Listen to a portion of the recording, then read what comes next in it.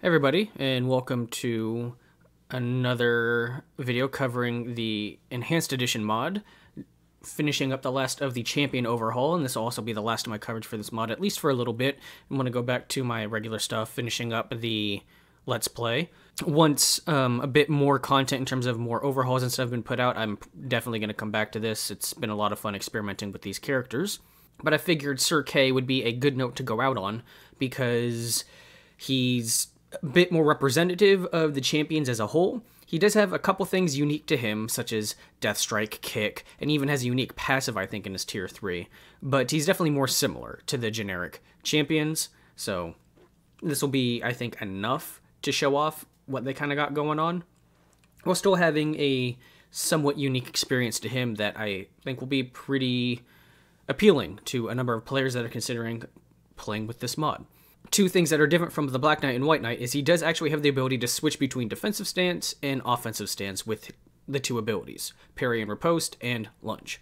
This is something the generic champions have that the previous two I showed did not, and other than that, he still has his death strike in tier 1, and everything else is about the same. The upgrades on the offensive and defensive stance, I do kind of want to show these off a little bit. I just took upgrades increasing their damage, making it so offensive stance actually gets some extra bonus damage and some extra defensive bonuses when I'm using defensive stance.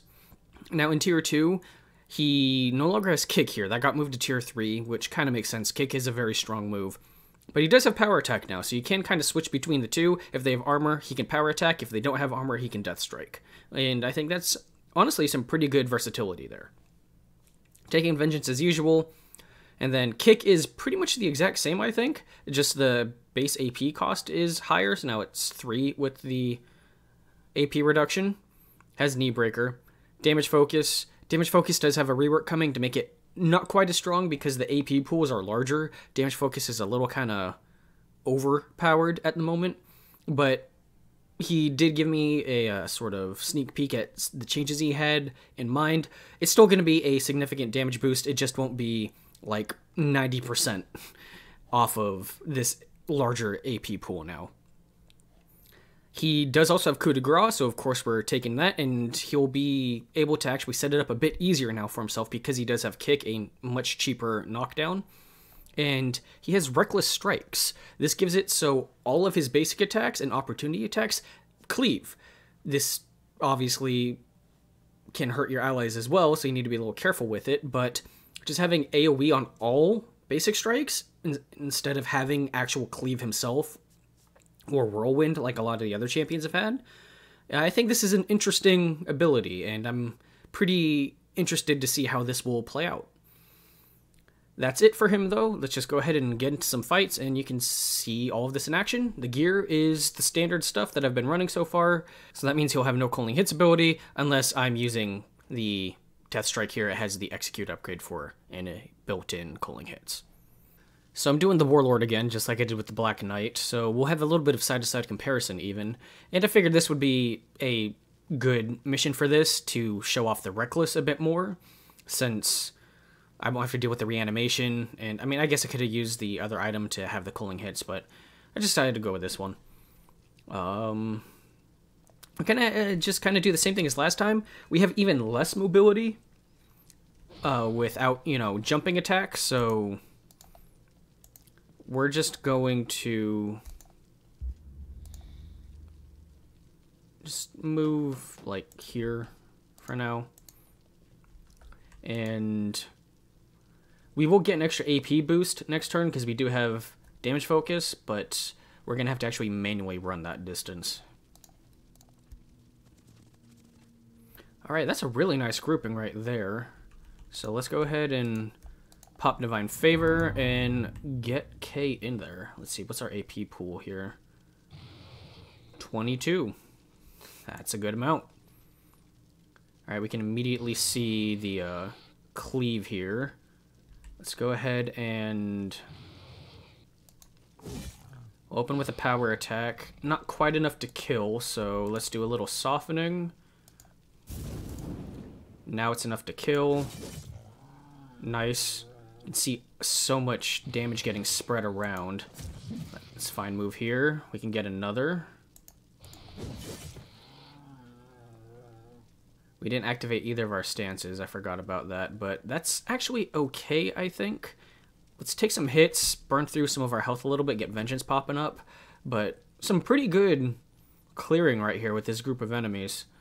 And then... Actually... Kick actually isn't enough, dang. Um... Well... How about...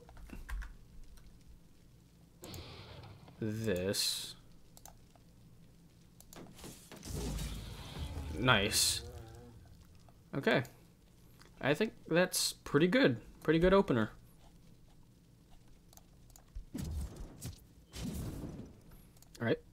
Went through a good amount of HP, but that means we have a big Vengeance boost here. Now we're going to use Lunge. Does give us a little bit of mobility, 2 to 3 range. So we can use this to cross this distance. Cool. Um, not I don't have enough movement to get to here to try and get a double, but if we just do a little bit of softening at least, I think we can finish off the Beast Man.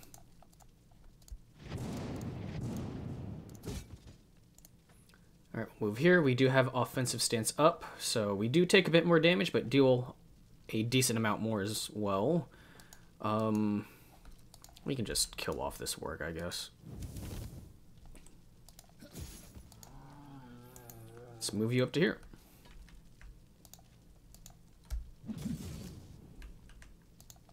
And just a little love tap. Okay, so here we're in the second fight. Kay got the shit CC'd out of him, so nothing really happened in the first couple turns. Figured now's a good point to probably cut in. Um, he's up now, and we're gonna just start going after the enemies. We have a bunch of wargs grouped up here, so I think that's what we're gonna aim for. If we we definitely want to break this ice wall, though, that I set up earlier. I think between the Fire Blast and the Earthsmith Ring, that should clear the way.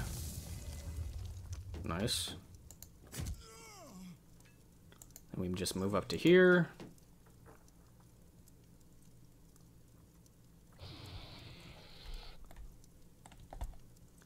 The cleave doesn't quite reach him. Is it because of my positioning? It is. Alright. It's a pretty good multi right there.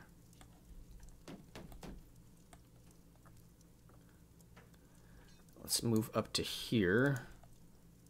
Coup de is not going to do much on you, but Death Strike? Eh, also not quite.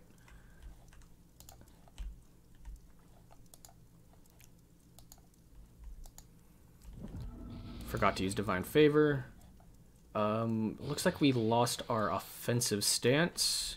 So let's go ahead and get that back up, actually.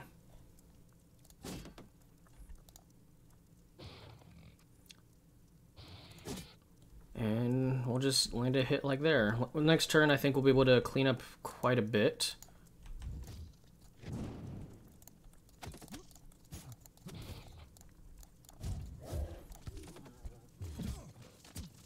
Alright, that's actually perfect. That gives us a lot more fodder to just feed off of here. Whirlwind would have been so nice right now, but we'll make do.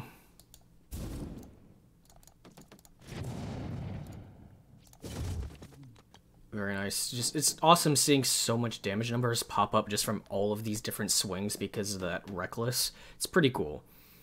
Then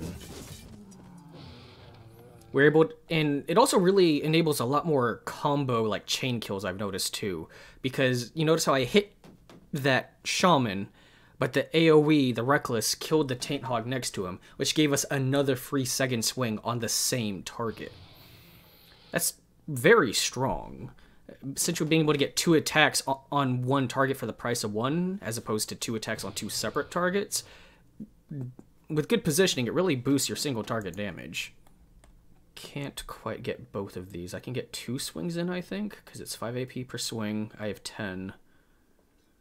Um, I think I can enable this a little bit more. Nice. We're looking good.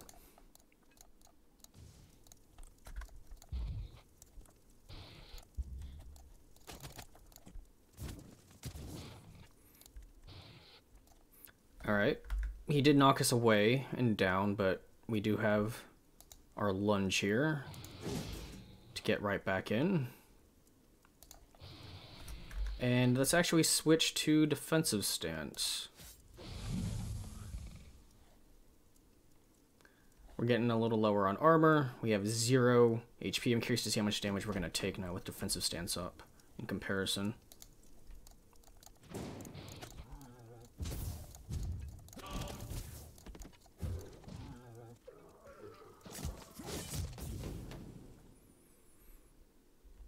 Alright, we actually got a block proc off. We took no damage, I think. Defensive stance pretty strong. We are immune to an opportunity attack as well. But, yeah, let's go ahead and get the kill here. Don't need the offensive stance for that. I think we can move to here. Earthsmith ring this, get a free swing.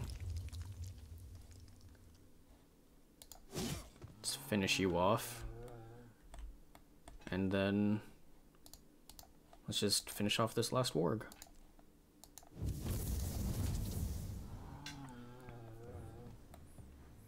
Alright. That was, for the most part, almost entirely an offensive stance. Got some really good look at his damage numbers. I'm going to do one more quick fight, or at least part of one. I really want to see how much tankiness now we can get out of this defensive stance, because he took... Maybe... I think he already had 98 vitality, right? Going into that turn where he got then attacked by that Taint Hog. I think he took, like, no damage from it, which is pretty crazy. Alright, for this one, we're just going to put Kay over here and just have him hold off this side because I really want to test his tankiness really with this defensive stance. Because I mean, 30% damage resistance, he does less damage, so that's okay. And he'll just get some extra armor. And let's just Overwatch for now. And we'll have everyone else focus on the few wargs that are over here.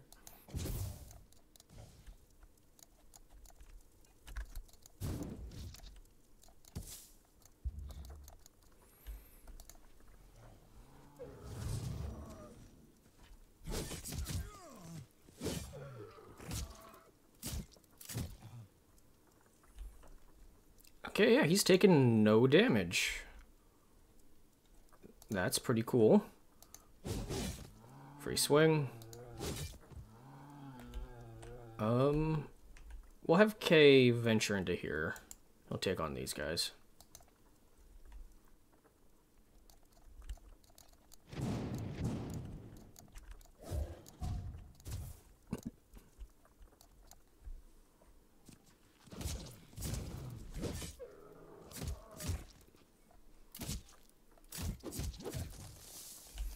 He continues to take no damage. That's that's strong.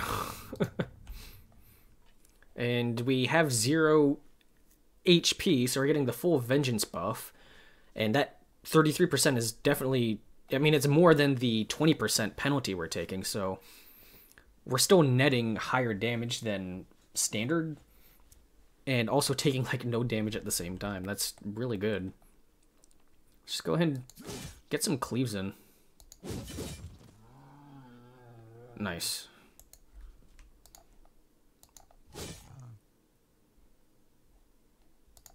Sure, let's kick him, why not?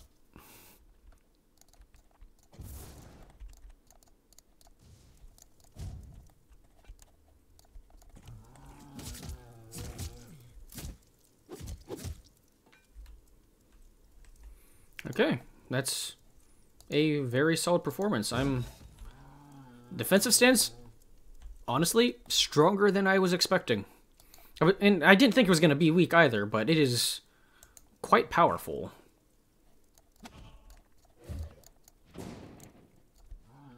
That's everything I think I need to show off with Sir Kay. Being able to have access to both of the stances was a bit more refreshing coming off of the other two who didn't really have them, at least in the same way as the rest of the champs are going to have. The standout to me is easily the Reckless Strikes. This is a very strong ability, and I think it's really cool. As I kind of mentioned earlier, the ability to, with good positioning, be able to get two swings on one target for the price of one, that is very strong. And definitely one of the stronger abilities that I've seen out of all of the champions reworked so far. So, very, very big fan of that. And what actually turned out to be a bit of a surprise standout to me was defensive stance. This is a very strong defensive ability. I mean, just reading the effects, you can tell how strong it is already. Regaining armor mid combat, that's very good. Reducing armor loss. And, I mean, you could stack that then again with another hardened armor for 30% bonus. And just the flat damage reduction here of the uh, 30%. That's very good. And I mean, especially being able to combo that with vengeance, you know, with like what I did here in an earlier fight, kind of lead with offense, get your HP super low, switch to defense, and you'll start taking very negligible damage. I mean, I was taking none from several targets at once, and you'll still be netting positive damage over zero flat stance. So that's a pretty good combo there. And I think having champions with this defensive stance really opens up a bit more team comp possibilities, especially if you're going Old Faith where you have a lot less defenders to pick from. Where now you don't necessarily feel like maybe you need a defender to act as a brick wall for your party. With defensive stance, it seems like a champion can do a really good job of that as well. They won't be able to like taunt nearly as well, for example, or provide armor to allies with something like guard, not as much battlefield control to mitigate the enemies like Mordred. But if you just want a brick wall, this definitely seems like a viable option. And I think with that, I have said everything that I wanted to say. This mod has been a lot of fun playing around with so far. I highly, highly recommend you check it out if you've finished at least one playthrough. The mod creator, Kadon, is doing a lot of good work with it, putting a lot of effort into it. And the mod itself is done in terms of reworking the game systems, so you don't need to wait for all these different hero overhauls, you know, these character overhauls. This is kind of like bonus content. There's still system changes, dots, debuffs, the AP pool, AP costs. They've all been readjusted, some minor tweaks to certain abilities. So you will still definitely get a different experience, but these hero overhauls definitely have been the spotlight for me personally, and I think really helped change up the gameplay a lot it's really, really good. I'm definitely going to be circling back to this in the future. But for now, this is it for my coverage of Enhanced Edition. If you made it all the way to the end, I do appreciate it, and I hope to see you in the next one.